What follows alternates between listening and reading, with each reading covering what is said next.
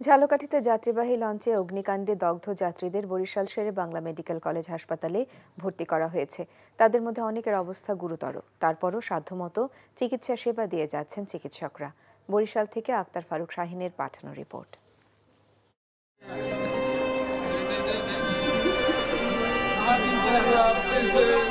নিখোঁজ মেয়ে আর নাতিকে হাসপাতালের বারান্দায় খুঁজছেন এই হতভাগা বাবা।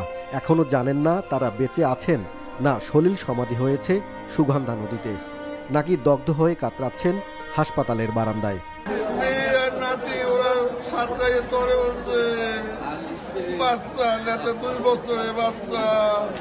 আগুনে দগ্ধদের যন্ত্রণায় ভারী হয়ে উঠেছে বরিশাল শেরেবাংলা মেডিকেল কলেজ হাসপাতালের সার্জারি ওয়ার্ডের বারান্দা। আগুনটা তো বাইরে এদিকে দৌড়িয়ে সামনে সব জায়গায় সিট্টুপিট্টু হয়ে গেছে। এখন যদি আগুনটা সব জায়গায় সিট্টু হয়ে গেল ওই দিকের মানুষগুলো আগুন দেখে সব থামে গেছে এদিকেও আসতে না ওদিকেও যাচ্ছে না। মানুষগুলো সব ওই ঘুরিয়েই সব পোড়া শেষ হয়েছে একসাথে এত আগুনে পোড়া রোগীদের চিকিৎসা সেবা দিতে হিমশিম খাচ্ছে হাসপাতাল কর্তৃপক্ষ। এখানে ভর্তি হওয়া বেশিরভাগেরই হাত পা এবং নাক মুখ দগ্ধ হয়েছে। আমার ওই আত্মীয় ঢাকা দিয়ে আসতে আছে। তখন আসতে আসতে তার নজন আসছে। নজন আসার সময় ওই লঞ্চে আগুন লাগছে আমের দেখা তিনজন পাওয়া গেছে আর নয়জন নয়জন আর ছজন পাওয়া যায় না এই পর্যন্ত নিখোঁজ।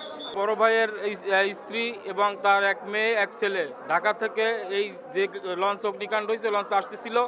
ছেলেকে পাওয়া গেছে বরিশাল শেরে বাংলা মেডিকেল হসপিটালে কিন্তু এখন পর্যন্ত কোনো হসপিটালে বা ঘটনাস্থলে কোথাও তার মেয়ে এবং তার স্ত্রীকে খুঁজে পাওয়া যাচ্ছে না। এখানে শেরেবাংলা মেডিকেল কলেজে পর্যন্ত সাতষট্টি জন রোগী এসেছে। তার মধ্যে পুরুষ মহিলা এবং শিশু রয়েছে। সাতষট্টি জনের মধ্যে আমাদের তিনজন তিনটা বাচ্চা বেশি অসুস্থ ছিল, ওদেরকে ঢাকায় রেফার করা হয়েছে। আর এর বাইরেও আরও তিন তিন চারজন আছে, তাদেরকে আমরা রেফার করব বলে আমরা সিদ্ধান্ত নিয়েছি। বাকি সবাই ভালো আছে, তারা আমাদের চিকিৎসার দিন এখানে থাকবে এবং এটা আমাদের কন্ট্রোলই আছে। শুক্রবার সাপ্তাহিক ছুটির দিন হওয়ায় অধিকাংশ চিকিৎসকই ছিলেন না কর্মস্থলে। এরকম পরিস্থিতিতে চিকিৎসক, নার্স সহ সংশ্লিষ্ট সবার ছুটি বাতিল করেছে হাসপাতাল কর্তৃপক্ষ। আগুনে মারা যাওয়া সবার লাশ শেরেবাংলা মেডিকেল কলেজ হাসপাতালে রাখা হয়েছে।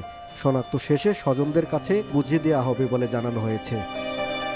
NTV news desk.